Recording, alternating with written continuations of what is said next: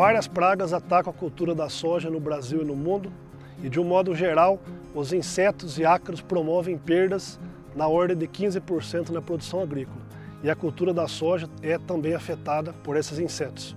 Dentro do complexo de pragas, a correta identificação das lagartas é de suma importância para a definição de qual estratégia de manejo irá ser adotada na lavoura. De um modo geral, quatro tipos principais de lagarta atacam a cultura da soja. A lagarta da soja, a lagarta falsa medideira, a helicoverpa e o complexo de espodópteras. A lagarta da soja, ela alimenta-se de toda a folha, inclusive das nervuras, e a preferência dela é pelo ataque no terço superior das plantas. A lagarta falsa medideira ataca toda a folha, porém não se alimenta das nervuras principais da folha, o que caracteriza um aspecto rendilhado. O ataque da helicoverpa, de um modo geral, acontece na região meristemática das plantas, ou seja, pelo ponteiro, principalmente naqueles ataques iniciais, quando a cultura está na fase é, preliminar de desenvolvimento.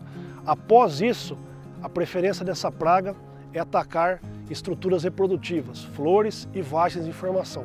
No caso das espodópteras, é interessante ressaltar a questão da oviposição dessa praga, que ela ocorre em camadas, normalmente duas, e inúmeros ovos presentes numa pequena superfície de folha.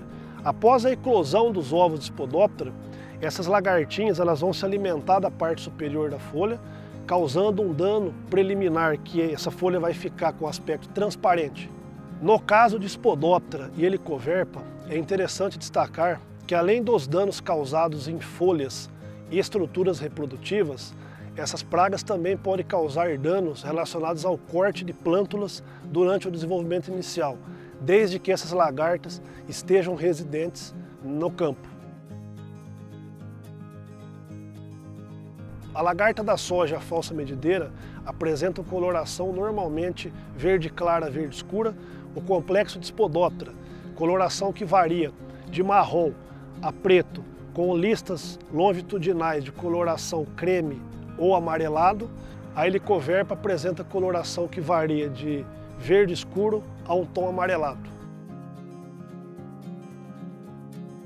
De um modo geral, lagarta da soja, Helicoverpa e Spodoptera apresentam quatro pares de falsas pernas e a falsa medideira apenas dois pares de falsas pernas. A lagarta da soja possui o tamanho da cabeça igual ou pouco maior que o corpo.